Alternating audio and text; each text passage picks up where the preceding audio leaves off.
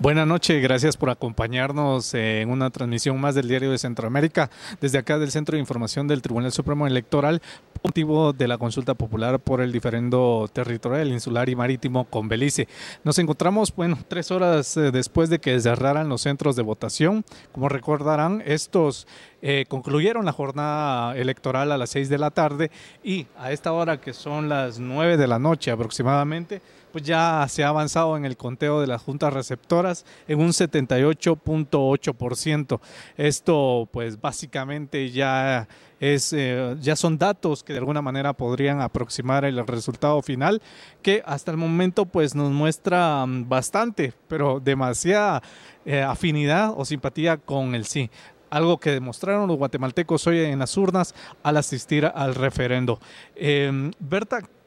¿Qué eh, destacamos de estas cifras que vemos en la pantalla? Gracias, Ronald. Lo que destacamos es que muchos guatemaltecos asistieron a las urnas y eh, un dato eh, que superamos históricamente entre las consultas populares es de que hemos alcanzado actualmente casi el 19-20% de asistencia a una consulta popular, algo que en otras ocasiones no había sucedido. Habíamos llegado aproximadamente al 18% y ahora alcanzar un 20% es algo histórico, algo que em, demuestra que la población está interesada en que se resuelva este caso, este diferendo territorial marítimo e insular con Belice. También podemos destacar que 1.357.819 guatemaltecos votaron por el sí.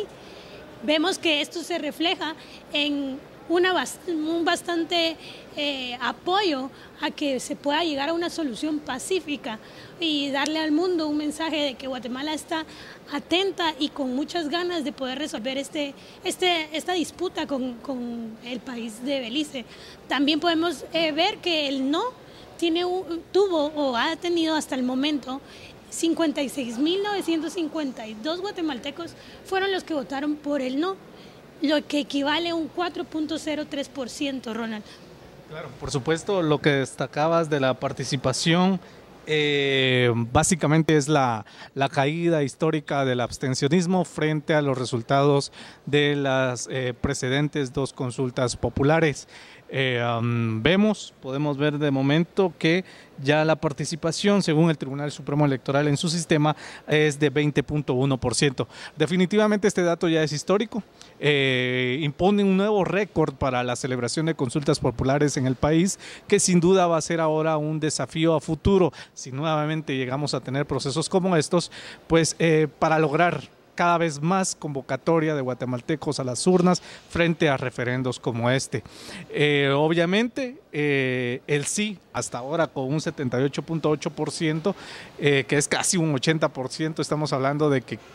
estos serían datos casi, casi eh, definitivos, pero el sí ha ganado abismalmente frente al no. Eh, algo que patenta la voluntad de los guatemaltecos frente a la situación o frente a la disputa que se tiene con Belice y que de alguna manera pues ya ha lanzado esa primera moneda para que eh,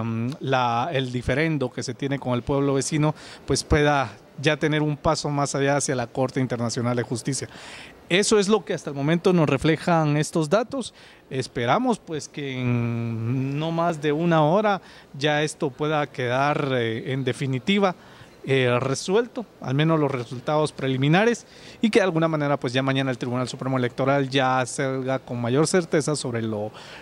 las cifras que hasta ahora tenemos y pueda anunciarse eh, pues eventualmente el éxito en este caso del sí o del no, pero que como vemos, pues favorece más al sí según estas estadísticas. Cerramos una jornada electoral con 11 horas de votación donde asistieron los guatemaltecos y recordamos de alguna manera eh, el apoyo que brindaron las instituciones de gobierno. ¿Cuál de ese apoyo podemos mencionar, eh, Berta, que hubo de parte de las autoridades de gobierno? ¿En qué temas asistieron a los ciudadanos? Eh, en la seguridad del país, la Policía Nacional Civil eh, estuvo muy atenta a resguardar la seguridad de los ciudadanos, de los guatemaltecos que asistieron a las urnas para mantener eh, un proceso eh, en calma, en paz, y, eso se vio reflejado en, las 11 horas de, votaciones, ¿verdad? También vemos que los cuerpos de socorro estuvieron muy atentos por cualquier eventualidad por, eh, que pudiera surgir en, este, en este proceso. Eh, lo vemos también en información. El, el Tribunal Supremo Electoral estuvieron semanas, incluso meses antes informando a la población qué requisitos tener para poder emitir el, voto, qué, era lo necesario para que cada guatemalteco pudiera asistir a, los centros de votaciones y poder ser parte de esta consulta popular. También lo vimos con incluso desde los funcionarios públicos, a invitar a, los guatemaltecos a asistir a las urnas y, poder eh, mostrar la voluntad que se tiene ante esta ante esta disputa con, Belice, ¿verdad? Em,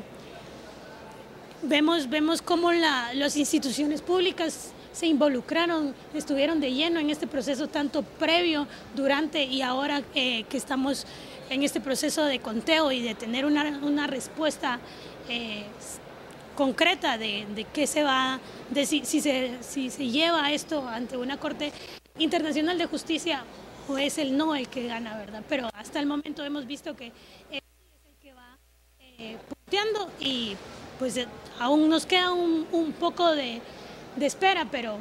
pero vemos cómo todo esto ha surgido bien. Son solo las instituciones de gobierno que claro hicieron su parte y ha sido primordial en esto, pero también recordamos el apoyo de los voluntarios que de alguna manera se unieron a la celebración de la consulta popular y que pues han con su apoyo lograron o hicieron que este referendo pues fuera un éxito. Ya lo decíamos, el éxito más plausible es el de la asistencia a las urnas, que en esta ocasión, al menos con los datos que hasta ahora tenemos, pues ya superan el 20%. Eh, es un dato histórico y como lo mencionaba anteriormente, impone un nuevo récord en la celebración de consultas populares y en la asistencia de los guatemaltecos a las urnas en este tipo de procesos.